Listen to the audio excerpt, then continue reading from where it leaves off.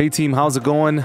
Welcome to the channel. Today we're going to be talking about the Console 1 mixing system and the integration with Logic Pro. This is a day that I never thought would come, but here we are.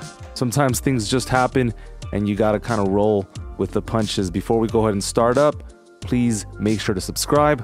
Got a lot of content coming soon, a lot of reviews, new plugins, yada yada.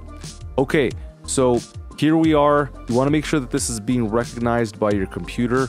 So go into audio MIDI setup and inside of MIDI Studio, you can see that the console one is being highlighted and the console one fader is being highlighted. This is something that you can also corroborate inside of Logic Pro under control surfaces. It's being recognized here. But to put it simply, as soon as you connect it, it does have internal communication with Logic Pro, and so it really is plug and play. I'm gonna hit X to go into the mixer, and I just wanna show you the beautiful relationship that happens here. The Console 1 mixing system recognizes the all mixer within Logic Pro. So you've got the audio track type, preview, click, stereo out, and master. And it also recognizes the single mixer. So here we have the audio track type, stereo, and master. Obviously, we can control the tracks even if you don't have a console 1 plugin instantiated. This is what they call a limited track. A limited track is infinite. You can use as many as possible. That's not to say that you can do that with a console 1 plugin.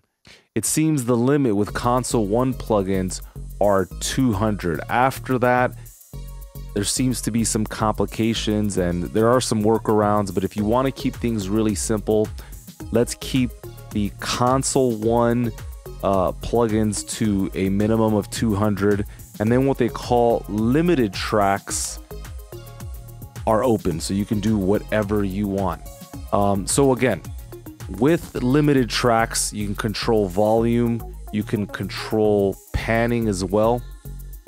When you start setting up buses, something else happens. So if I go into the send section here, create a bus, obviously an auxiliary is created and now we can select that. So it follows the track order, track names, and also the coloring system, which I thought was pretty great. So I'm going to hold shift, grab onto send one, and you can control this like so. All of this should be fully automatable. So if I open up the automation window and I start to automate volume, here is panning.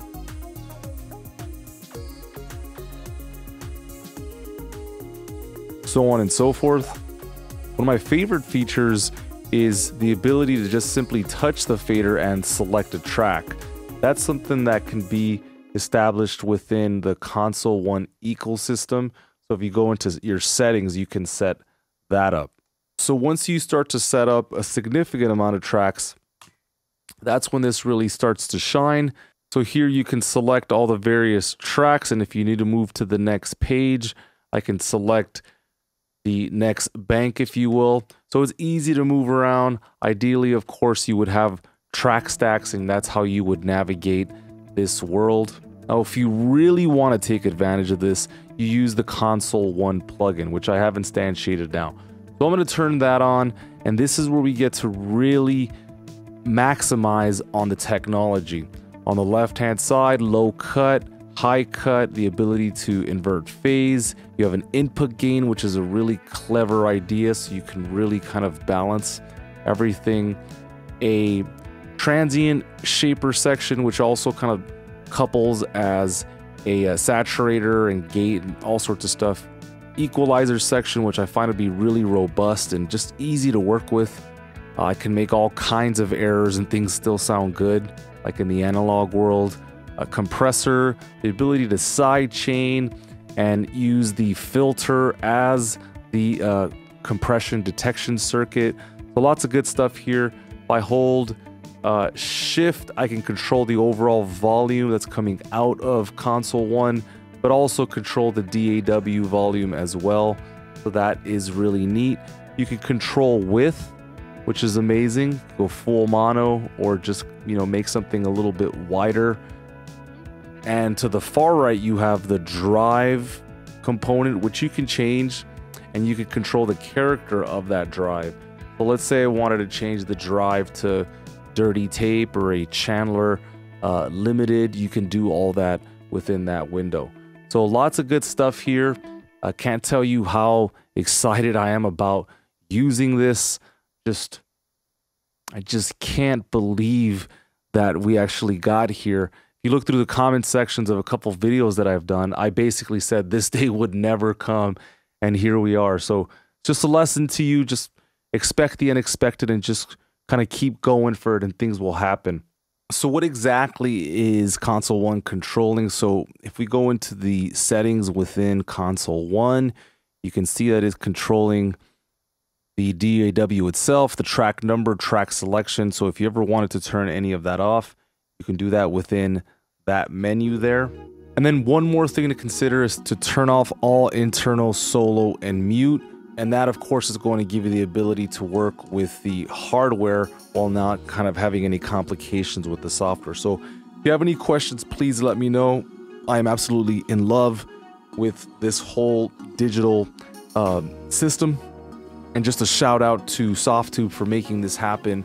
I will be doing a review on the Console 1 mixing system and the SSL UF8 pretty soon here. So, go ahead and stay tuned. And I will be giving away a free plugin to whoever is the 4,000th sub on the channel. Uh, it's been a long climb, and now we're almost to 4,000 subscribers. So thank you so much uh, for this great opportunity. So all you got to do is just comment 4,000 in the comments section, and I'm giving away uh, Telefy by Black Salt Audio. So if you're interested in getting that, just type in the word 4,000. Just type in the numbers 4,000 uh, and we can see who's going to get this free plugin. So, anyhow, thank you guys so much. Console One Fader mixing system, I give it a thumbs up. Absolutely incredible. No cons at this time. Oh, yeah, and one more thing before I forget if it's not working, you have to plug in into an ample source. So, either directly into the computer uh, if you have some kind of hub, make sure that the USB hub is powerful enough. Otherwise, this thing is simply not going to have enough juice to power up. All right, guys, I'm going to get out of here. Take care of yourselves. Stay up.